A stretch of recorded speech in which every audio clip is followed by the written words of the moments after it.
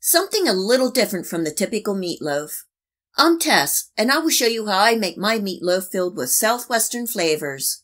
Stay tuned.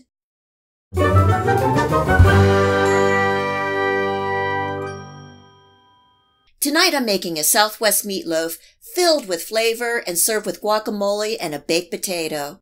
A real easy recipe and you probably have most of the ingredients on hand. In a skillet on medium heat, I'm adding in a couple tablespoons of butter, a half a cup each of diced onions, red bell pepper, and green bell pepper, and two cloves of minced garlic. Cooking and stirring for four to five minutes or until the veggies are tender and then removing from the heat to slightly cool. You could also add in some diced jalapeno for a little kick.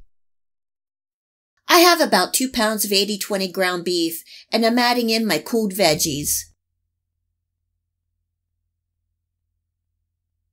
Adding in one large egg, half a cup of breadcrumbs, half a cup of your favorite salsa, and I'm using a chunky mild salsa, quarter teaspoon each of salt and black pepper,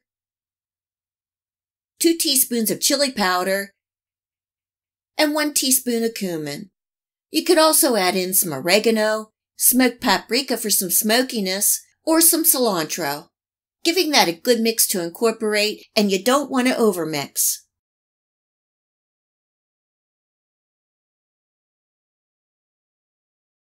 Placing the meatloaf into an oiled loaf pan and leveling out.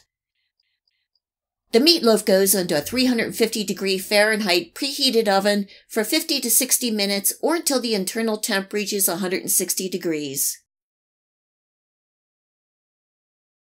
The meatloaf is done and smelling good. Letting it rest for 15 minutes before slicing. Serving tonight with a large baked potato with some cheese and sour cream. And to go along with the Southwest meatloaf is a dollop of guacamole. The Southwest meatloaf has great flavors and is a nice change to the traditional meatloaf. I hope you give the Southwest meatloaf recipe a try and enjoy.